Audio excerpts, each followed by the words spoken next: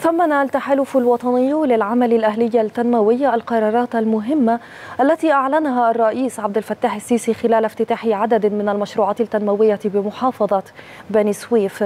أكد التحالف أن هذه القرارات تعكس مدى انحياز الرئيس السيسي للمواطن في ظل الأوضاع الاقتصادية الصعبة التي يعيشها العالم في الوقت الحالي معتبرا أنها خطوة هامة في طريق تحقيق العدالة الاجتماعية. كما أوضح التحالف أنه إذ يثمن هذه القرارات ودورها في زيادة مظلة الحماية الاجتماعية. فإنه يؤكد على أن الدولة القوية التي استطاعت هزيمة الإرهاب بتكاتف شعبها مع كافة مؤسساتها القوية.